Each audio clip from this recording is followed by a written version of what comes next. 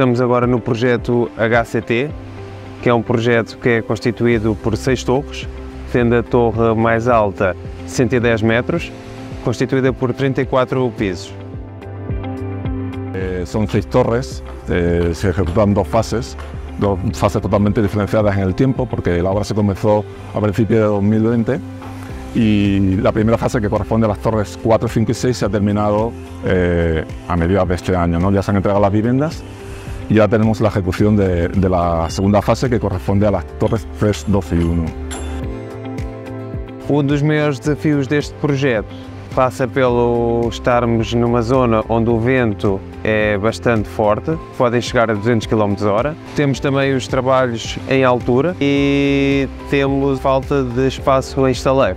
Casar juntamente com a ULMA, estudar o projeto de maneira a minimizar os efeitos do, do vento e da condicionalidade do espaço Para la construcción de las torres se han empleado tres sistemas principalmente, que vienen a ser el ATR, el RKS y el HVLS.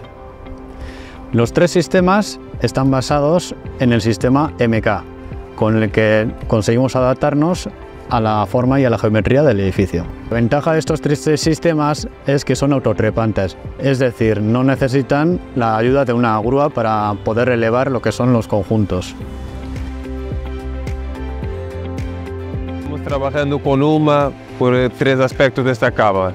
Uno es la capacidad técnica, otro es la cercanía de las personas y otro es el apoyo diario que, este- que tenemos en obra.